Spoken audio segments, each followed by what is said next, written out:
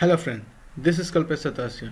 Today we are going to learn about how to use partial view in ASP.NET Core. So let's talk about the partial view. What is partial view? A partial view is a Razor markup file without an page directive that render HTML output within another markup file's rendered output. So that means this is a simple view page we can call a partial view but there will be no page directive. When to use partial view? Like create a small partial views file from large files so it easy to manage. It is just a view which can be reused across the application. How to declare partial view? A partial view is a .chtml markup file without a page directive maintained within the view folder in MVC or page folder Razor pages Partial view file names often begin with the underscore.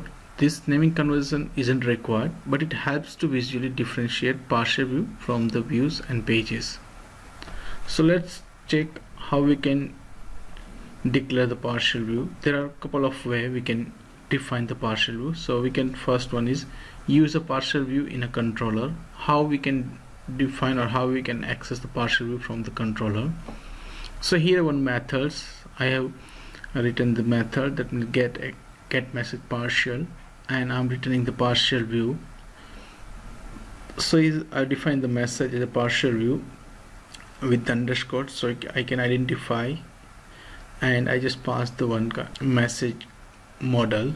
There will be two property titles and content. Okay? We'll see the example but here we can just understand how we can use a partial view in a controller partial tag helper. So in the HTML file or we can see the .cs HTML file we can define a partial and the name of the partial view that underscore messages and whatever model you want to pass you can pass it. And another way asynchronous HTML helper. Here you can use a await HTML.partial async. Here is the partial view name then whatever the object or model you want to pass and if you want to pass some uh, data dictionary you can pass through the view data. Here I've passed the index. We can show you in this example. We can show in the example so let's check in example all the three methods how we can utilize or how we can declare partial view okay? So here I have created one MVC application in ASP.NET Core. I have just created one model message where is two property content and title. And here I have created one partial view inside the same folder. So how to be find the partial view let me explain you. If you are call any method or any any partial view calling from the, this folder like I'm talking about the index file. So it's first uh, first finding into the home folder. If if there any underscore message folder message file is there if it is not found then it will be found on a shared directory. Okay? So like first is always search from their own folder. Okay so here I have just defined one partial view underscore message as a partial view. And there will be a accept accepting this one model that message model and there is two property title and the content. And we have also defined the view data. So how we can pass the view data we'll see that. So first we can check with the controller. So here we have created one method get message partials. And there is a message model we have created and there are two property we have passed. So it's called the partial and this method we can call from the HTML pages or CSS HTML pages using the Ajax. So let me show you that. Here we have the the script tag and document ready and call the ajax. So the get message partial with the get methods and whatever the html scheme we can just put it into the server method. So server method is one div. Okay so this is the one. The second one is the partial tag. Okay so partial tag here we have created one object. There will be title and content.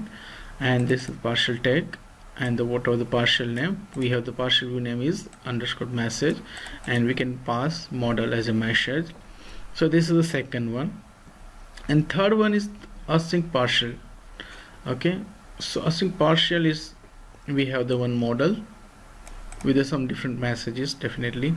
And you can write await html.partial async pass the partial view name object name and you can pass the view data dictionary. So we have passed the index one here. So if they found index in a view data then it will be displayed otherwise it will be skipped so let's run. Or we can see that we can reutilize the message partial in multiple way in the application. Either it is in the CHTML side or either you can return the partial from the controller side or API side we can say that. Okay so let's run that okay. And you can see that the tag message the partial tag we have display message display from partial tag. The second one HTML partial message you can see the index one. We have passed the index. Message display from partial async. And the last one is server message method. That means it's rendered from the server. Let me show you once again the first one is a partial tag second one is async partial tag and the third one is server method. So you can see all three are accessing and we can just pass whatever the model we have passed it's display. So this is this one second and third. So it's rendered three times with the different methods the same way. So you can see we have the break we have to break to the large file into a single piece of code as well as we have reused the same same partial view multiple times okay?